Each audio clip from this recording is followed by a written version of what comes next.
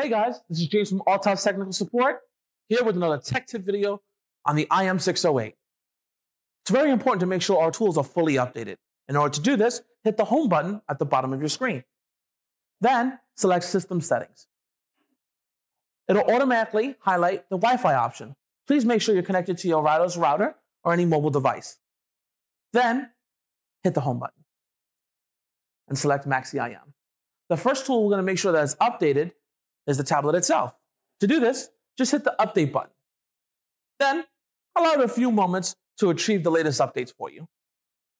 My tool is fully updated, but yours may be a little bit different. You may see some vehicles here that you need, may need to update for your tool. So the next thing we need to update is our VCI.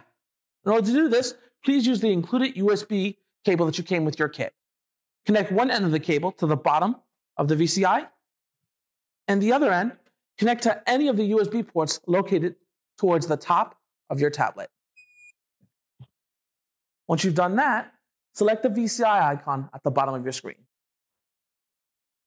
Then, on the left-hand side, hit Update.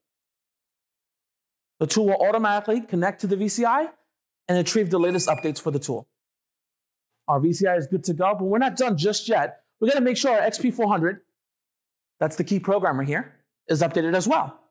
In order to do this, take the USB cable out of your VCI and put it towards the bottom of the XP400. Then hit the back button. Once you get to the screen here, hit Programmer. The tool will automatically detect the XP400 and update the tool. Please note, never connect your XP400 to the OBD2 on your vehicle.